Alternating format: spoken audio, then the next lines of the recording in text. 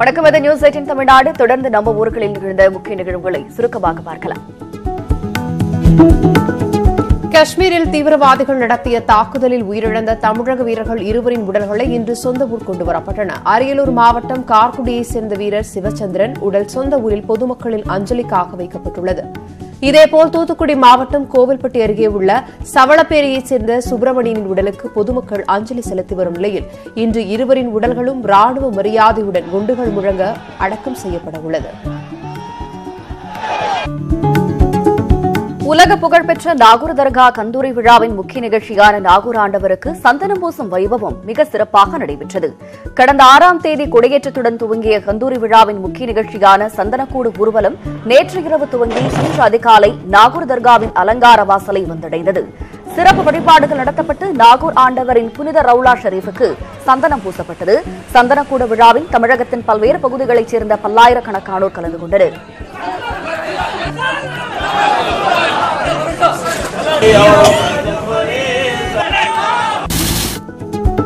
நாகை மாவட்டம் தரங்கம்பாடி பகுதியில் உள்ள அரசு நேரடி நெல் கொள்முதல் நிலையங்களில் சாக்குகள் பற்றாக்குறையால் நெல் விற்பனை செய்ய முடியாமல் விவசாயிகள் தவித்து வருகின்றனர். அறுவடை செய்யப்பட்ட நெல் நேரடி கொள்முதல் நிலையங்களுக்கு கொண்டுவரப்பட்டும் சாக்கு இல்லாமல் பல நாட்கள் காத்திருப்பதாக விவசாயிகள் தெரிவித்துள்ளனர். சாக்கு பற்றாக்குறையை தீர்த்து நடவடிக்கை எடுக்க வேண்டும் என அவர்கள் கோரிக்கை விடுத்துள்ளனர். கொடைக்கானலில் கோடைக்காலம் துவங்கியுள்ள நிலையில் குடிநீர் விநியோகத்தை முறைப்படுத்த நகராட்சி பொதுமக்கள் கோரிக்கை விடுத்திருக்கிறார்கள். குடிநீர் ஆதார நீர் தேக்கங்களில் நீர் இருப்பு வேகமாக குறைய துவங்கியுள்ளது. மனோரத்தினம் சோலை முதல் குடிநீர் தேக்கத்தில் இருபத்தோரு அடியாகவும் இரண்டாம் குடிநீர் தேக்கத்தில் பதினேழு அடியாகவும் நீர் இருப்பு குறைந்துள்ளது. நீரின் கையிருப்பை பொறுத்து குடிநீர் விநியோகத்தை முறைப்படுத்தி தண்ணீர் வீணாவதை தடுக்க வேண்டும் எனவும் மக்கள் கோரிக்கை விடுத்துள்ளனா் காஞ்சிபுரம் மாவட்டம் மறைமலை நகர் தொழிற்பேட்டை பகுதிகளிலிருந்து சேகரிக்கப்படும் கழிவுநீர் லாரிகள் மூலம் சென்னை திருச்சி தேசிய நெடுஞ்சாலைகளில் கொட்டப்படுவதால் சுகாதார சீர்கேடு ஏற்பட்டுள்ளதாக புகார் எழுந்துள்ளது சாலைகளில் கொட்டப்படும் கழிவுநீரால் நோய் பரவும் அபாயம் ஏற்படுவதாக கூறும் மக்கள் நகராட்சி அதிகாரிகள் இதை தடுக்க வேண்டும் என்று கோரிக்கை விடுத்துள்ளனர். செல்போனில் பேசிக்கொண்டே பள்ளி வாகனத்தை இயக்கியவரை எச்சரித்த மோட்டார் வாகன ஆய்வாளரிடம் தற்கொலை செய்து கொள்வேன் என ஓட்டுநர் மிரட்டல் விடுத்த சம்பவம் பரபரப்பை ஏற்படுத்தியுள்ளது. பழனியைச் சேர்ந்த பாலகிருஷ்ணன் என்பவர் தனியார் பள்ளியில் வேன் ஓட்டுநராக பணியாற்றி வருகிறார். இன்று காலை அதிக குழந்தைகளை வேனில் ஏற்றிக்கொண்டு செல்போனில் பேசிக்கொண்டு வேனை ஓட்டி சென்றார். இதனை பார்த்த மோட்டார் வாகன ஆய்வாளர் அந்த வேனை தடுத்து நிறுத்தி எச்சரிக்கை விடுத்தார். காஞ்சிபுரம் மாவட்டம் செங்கல்பட்டு அடுத்த சிங்கப்பெருமாள் கோவில் பகுதியில் கிடப்பில் போடப்பட்ட ரயில்வே மேம்பால பணிகளை விரைந்து முடிக்க பொதுமக்கள் கோரிக்கை வைத்துள்ளனர்.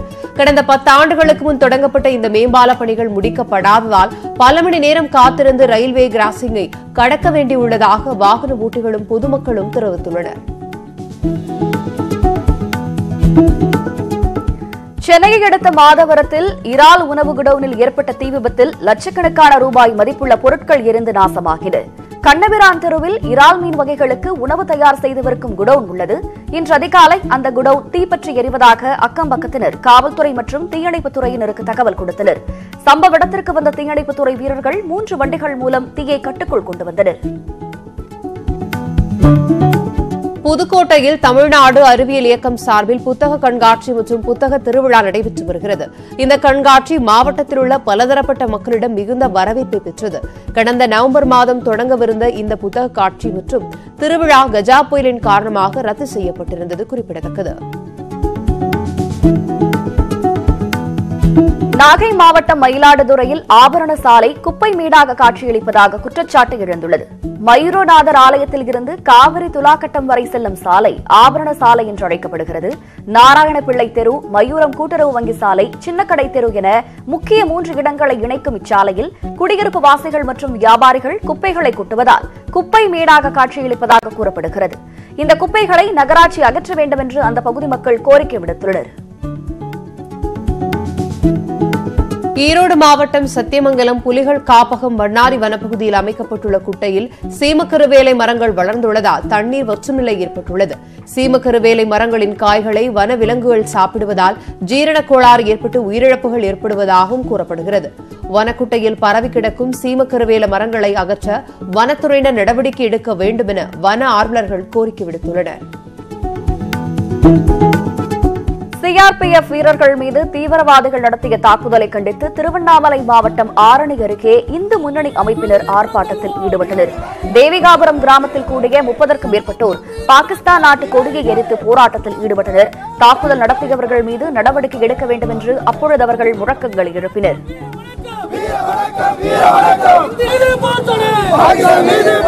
கண்டிக்கின்றோம். வேலூர் அருகே அரசின் இரண்டாயிரம் ரூபாய் வழங்கும் திட்டத்திற்கான கணக்கெடுப்பு பட்டியலில் தங்கள் பெயர் இடம் பெறாததால் ஆத்திரமடைந்த பொதுமக்கள் மறியல் போராட்டம் நடத்தினர்.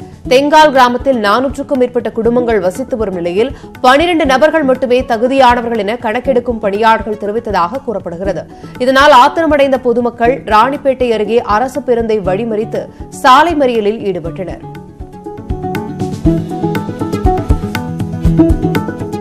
சிதம்பரத்தில் குடியிருப்புகளுக்கு நடுவே அமைந்துள்ள நுண்புறம் செயலாக்க மையத்திற்கு பொதுமக்கள் எதிர்ப்பு தெரிவித்திருக்கிறார்கள். வாசிக நகரில் உள்ள இந்த மையத்தில் நகர் முழுவதும் சேகரிக்கப்படும் குப்பைகளை கொண்டு வந்து உரம் தயாரிக்கப்படுகிறது. இந்த மையத்திலிருந்து துர்நாற்றம் வீசுவதோடு சுகாதார சீர்கேடுகள் ஏற்படுவதாகவும் கூறப்படுகிறது. குழந்தைகளுக்கு நோய் தொற்று ஏற்பட்டுள்ளதாகவும் நுண்புறம் செயலாக்க மையத்தை வேறு இடத்திற்கு மாற்றக் கோரி அந்த பகுதி மக்கள் சுகாதாரத்துறை அதிகாரியிடம் மனு அளித்தனா் தூத்துக்குடி நகரின் கழிவுகள் அனைத்தும் சுத்திகரிக்கப்படாமல் கடலில் கலப்பதால் திரேஸ்புரம் கடற்கரையின் தென்பகுதி முழுவதும் கடல் நீர் கருப்பு நிறத்தில் காட்சியளிக்கிறது. இந்த கடலில் இறங்கும்போது கால்களில் அரிப்பு மற்றும் தோல் ஏற்படுவதாக மீனவர்கள் தெரிவித்துள்ளனர்.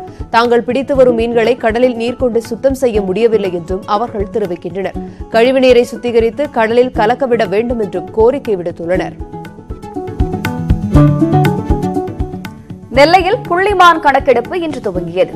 கங்கை கொண்டான் மான் சரணாலயம் இருநூற்று எண்பத்தெட்டு ஹெக்டேரில் அமைந்துள்ளது. இந்த சரணாலயத்தில் ஏராளமான புள்ளிமான்கள் இருக்கின்றன. இங்கு நடைபெற்று வரும் கணக்கெடுப்பு பணியில் கல்லூரி மாணவ மாணவிகள் வன ஆர்வலர்கள் மற்றும் வன அலுவலர் உட்பட நூறு பேர் ஈடுபட்டுள்ளனர். கடந்த ஆண்டு புள்ளிமான் கணக்கெடுப்பில் முன்னூறு முதல் முன்னூற்றி ஐம்பது புள்ளிமான்கள் இருந்ததாக கூறப்படுகிறது. இந்த ஆண்டு கணக்கெடுக்கும் பணிகள் முடிந்ததும் எவ்வளவு மான்கள் உள்ளன என்பது தெரியவரும். வேலூர் மாவட்டம் குடியாத்தத்தில் குடியிருப்புக்குள் புகுந்த புள்ளிமான் ஒரு மணி நேர போராட்டத்திற்கு பின் பொதுமக்கள் உதவியுடன் வனத்துறையினர் பிடித்தனர். வனப்பகுதியிலிருந்து வழி தவறி வந்த புள்ளிமான் கோபாலபுரம் பகுதியில் புகுந்து ஒரு மணி நேரமாக அங்கும் இங்கும் ஓடியது. இதுகுறித்து பொதுமக்கள் கொடுத்த தகவலை தொடர்ந்து வந்த வனத்துறை ஒரு மணி நேர போராட்டத்திற்கு பிறகு மானை பிடித்தனர்.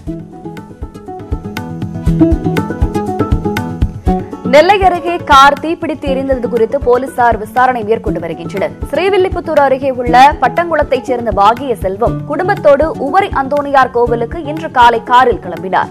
கார் கங்கை கொண்டான் அருகே வரும்பொழுது திடீரென்று என்ஜினில் இருந்து புகை வந்துள்ளது. இதனைத் தொடர்ந்து காரில் இருந்தவர் அனைவரும் கீழே இறங்கிவிட்டனர். இந்த விபத்தில் யாருக்கும் காயம் ஏற்படவில்லை. இதுகுறித்து போலீசார் விசாரணை மேற்கொண்டு வருகின்றனர். கூடங்குளம் அரசு மருத்துவமனையில் கடலோர பகுதி மீனவர்கள் மற்றும் பொதுமக்களுக்காக இருபத்தி ஐந்து லட்சம் ரூபாய் மதிப்பீட்டில் புதிய டயாலிசிஸ் இயந்திரங்களை மாவட்ட ஆட்சியர் ஷில்பா பிரபாகர் திறந்து வைத்தார். பெருமணல் இடிந்தகரை தோமையார்புரம் பஞ்சல் பெரிய தாழை உவரியைச் சேர்ந்த மீனவர்கள் டயாலிசிஸில் சிகிச்சை பெற நாகர்கோவில் அல்லது திருநெல்வேலிக்கு செல்ல வேண்டியிருந்தது. இந்த நிலையில் பொதுமக்களின் கோரிக்கையை ஏற்று இந்த டயாலிசிஸ் எந்திரங்கள் அரசு மருத்துவமனையில் திறக்கப்பட்டன. திருவள்ளூர் மாவட்டம் கும்மிடிப்பூண்டி அருகே கோளாறு ஏற்பட்டு ரயில் பாதையிலேயே நின்றதால் பயணிகள் சிரமத்திற்கு ஆளாக்கினர் கும்மிடிப்பூண்டியில் இருந்து சென்ட்ரல் மார்க்கமாக செல்லும் மின்சார ரயிலில் பிரேக் கோளாறு ஏற்பட்டதால் அங்கேயே நிறுத்தப்பட்டது. இதனைத் தொடர்ந்து அந்த வழியாக செல்லும் மற்ற ரயில்கள் மாற்றுப்பாதையில் இயக்கப்பட்டன.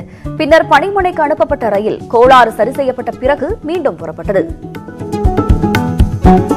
நூற்றி பதினெட்டு கோடி ரூபாய் பயிர் காப்பீடு தொகை வழங்காததை கண்டித்து தஞ்சை அருகே தொடக்க வேளாண்மை கூட்டுறவு சங்க அலுவலகத்தை விவசாயிகள் முற்றுகையிட்டனர். மானங்குறை தொடக்க வேளாண்மை கூட்டுறவு சங்கத்தில் இரண்டாயிரத்தி பதினாறு இரண்டாயிரத்தி பதினேழு மற்றும் இரண்டாயிரத்தி பதினேழு இரண்டாயிரத்தி பதினெட்டாம் ஆண்டிற்கான பயிர் காப்பீட்டுத் தொகையை இன்சூரன்ஸ் கம்பெனி வழங்கியும் அதிகாரிகள் வழங்கவில்லை என்று குற்றம் எழுப்பப்பட்டது. உடனடியாக காப்பீட்டுத் தொகை வழங்க ஆட்சியர் நடவடிக்கை எடுக்க அவர்கள் வலியுறுத்தினர். தருமபுரி நகர பேருந்து நிலையத்திலிருந்து பதிமூன்று புதிய புறநகர் பேருந்துகளை அமைச்சர் கே பி அன்பழகன் கொடியசைத்து தொடங்கி வைத்தார். பள்ளிக்கல்லூரி மாணவர்கள் பொதுமக்கள் கோரிக்கையை ஏற்று நான்கு நகர பேருந்துகள் வழித்தடம் நீட்டிப்பு செய்து இன்று முதல் புதிய பேருந்துகள் இயக்கப்பட்டன. இரண்டாயிரம் ரூபாய் சிறப்பு உதவித்தொகை திட்டத்தில் பெயர் சேர்க்க கோரி சேலம் ஆத்தூர் அருகே மலை கிராம மக்கள் மறியலில் ஈடுபட்டனர். நயினார்பாளையம் மலை கிராம மக்களில் பலரின் பெயர் அந்த பட்டியலில் இல்லை என கூறப்படுகிறது. இதனை கண்டித்து தங்களையும் சிறப்பு உதவித்தொகை பெற வறுமை கோட்டிற்கு கீழ் பெயர் பட்டியலில் பெயர் சேர்க்க கோரி அந்த ஊர் வழியே சென்ற அரசு பேருந்தை சிறைபிடித்து போராட்டத்தில் ஈடுபட்டனர். இதனால் ஒரு மணி நேரம் போக்குவரத்து பாதிக்கப்பட்டது. தமிழகத்தின் செயற்கை முறை கருத்தரித்தல் மருத்துவத்தில் சிறந்த மருத்துவனையாக ஏஆர்சியின் புதிய கிளை கன்னியாகுமரி மாவட்டம் நாகர்கோவிலில் தொடங்கப்பட்டது. நெல்லையை தலைமையிடமாக கொண்டு தமிழகம் முழுவதும் கிளைகள் அமைத்து செயல்படும் ஏஆர்சி செயற்கை முறை கருத்தரித்தல் மருத்துவமனையின் பதினேழாவது கிளையை நாகர்கோவிலில் துவங்கப்பட்டுள்ளது. குழந்தை பாகியம் இல்லாதோருக்கு இந்த மருத்துவமனையில் சிறப்பு சிகிச்சை அளிக்கப்படுவதாக மருத்துவமனை நிர்வாகத்தினர் தெரிவிக்கின்றனர். கன்னியாகுமரி மாவட்டம் நாகர்கோவிலில் மூன்றாவது ஆண்டு புத்தக கண்காட்சி தொடங்கியது. இந்த கண்காட்சியை தமிழக அரசின் டெல்லி சிறப்பு பிரதிநிதி தளவாய் சுந்தரம் மாவட்ட ஆட்சியர் பிரசாந்த் மு வடநேரே ஆகியோர் தொடங்கி வைத்தனர். பத்து நாட்கள் நடைபெறும் இந்த கண்காட்சியில் ஒவ்வொரு நாளும் மாணவ மாணவிகளின் கலை நிகழ்ச்சிகள் படைப்பாளர்களின் உரைகள் உணவு திருவிழா உலக திரைப்படங்களில் காட்சி உள்ளிட்ட பல்வேறு அம்சங்களும் இடம்பெற்றுள்ளன. சென்னையை அடுத்த தாம்பரம் அருகே சிட்லப்பாக்கம் பகுதி மக்களின் நீண்ட நாள் கோரிக்கையை ஏற்று பதினைந்து தெருக்களில் புதிய தார் சாலை அமைக்கப்பட்டுள்ளது. கடந்த ஆறு ஆண்டுகளுக்கு முன்பு போடப்பட்ட சாலைகள் சேதமடைந்து காணப்பட்டதால் புதிய சாலை அமைக்க வேண்டும் என்று அந்த பகுதி மக்கள் மற்றும் அரசியல் கட்சியினர் நெடுஞ்சாலைத்துறை அதிகாரிகளிடம் மனு அளித்தனர். இதனைத் தொடர்ந்து ஒரு கோடியே எண்பது லட்சம் ரூபாய் மதிப்பில் அங்கு புதிய சாலைகள் அமைக்கப்பட்டுள்ளன. நாகை மாவட்டம் வேதாரண்யத்தில் உள்ள வேதாரண்யேஸ்வரர் கோவிலில் மாசிமக திருவிழாவை ஒட்டி தேரோட்டம் நடைபெற்றது. தேரோட்டத்தை தமிழக கைத்தறி துணிநூல்துறை அமைச்சர் ஓ எஸ் மணியன் கொடியசைத்து துவங்கி வைத்தார். பக்தர்களின் முழக்கத்தோடு நகரின் முக்கிய வீதிகள் வழியே தேரோட்டமும் நடைபெற்றது.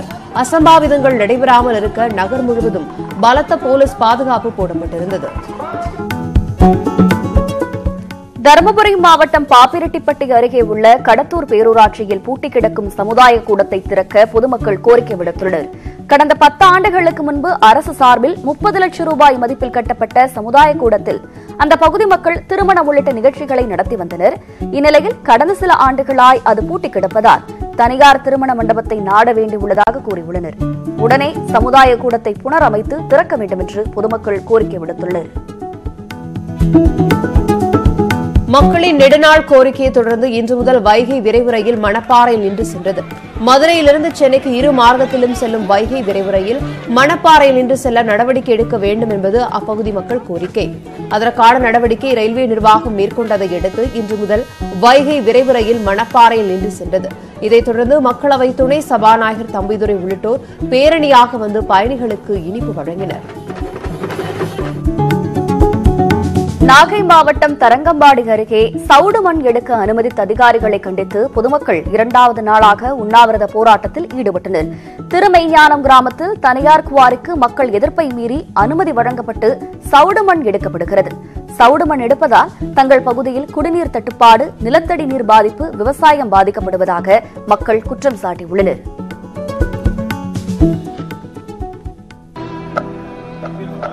சவலப்பேரியை சேர்ந்த வீர மரணமடைந்த சிஆர்பிஎஃப் வீரரின் உடலுக்கு துணை முதலமைச்சர் ஓ பன்னீர்செல்வம் இறுதி அஞ்சலி செலுத்தக்கூடிய அந்த காட்சிகளை நேரலையில் பார்த்தோம். தொடர்ந்து செய்திகளை விரிவாக தெரிந்து கொள்ள W W W dot news eighteen Tamil dot com என்ற இணையதளத்தை பாருங்கள்.